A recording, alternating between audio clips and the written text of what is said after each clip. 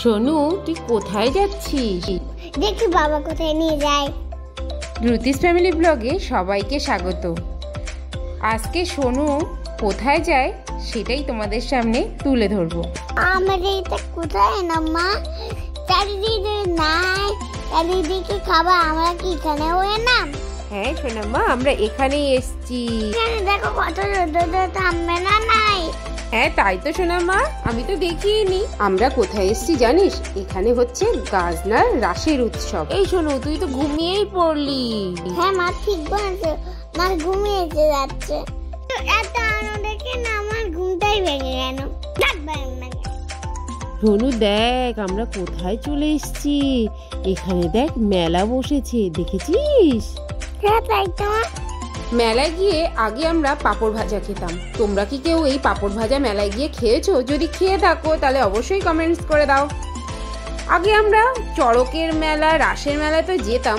গিয়ে না এই পাপড় ভাজা খেতে খুব ভালো লাগতো। সোনুকে বললাম সোনু বলল মা আমাকেও একটা দাও না আমি একটু খাই। দেখো সোনু কেমন মেলায় গিয়ে পাপড় ভাজা খাচ্ছে। ও মা ওই ওই রেড কোনের ওইখানে কি হচ্ছে? কি উঠছে বলতো? ওইগুলো হলো গ্যাস বেলুন। গ্যাস বানানোটা আমি আজকে কখনো দেখিনি। দেখেছিস? ওখানে কীরকম কটা হনু ঝুলছিল? এই শোনু এখানে কি হচ্ছে জানি কি হচ্ছে মা?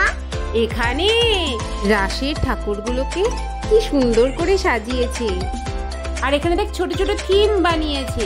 আর কি সুন্দর আলো দিয়ে সাজিয়েছে দেখেছিস? তোর ভালো লাগছে সোনু এই দেখ রাধা কৃষ্ণ দেখেছিস? এই শোনু তুই নাচ করছিস কেন?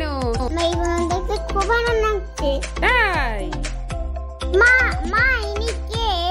ইনি চৈতন্য দেব ও মা এখন তো আমরা বাড়ি যাচ্ছি। হ্যাঁ সোনু চলো এবার বাড়ি চলে যাই। অনেকক্ষণ তো ঘুরলাম। এই সোনু তুই তো অনেক কিছু খেয়েছিস। চল আমরা একটু চা খেয়ে নিই। ঠিক আছে মা খেয়েই না আমরা একটা চায়ের দোকানে এসেছিলাম। চায়ের দোকানটার নামটাও বেশ সুন্দর কুটুম বাড়ির চা। আর সোনুর এখানে জুটে গেছে একটা দিদি ভাই।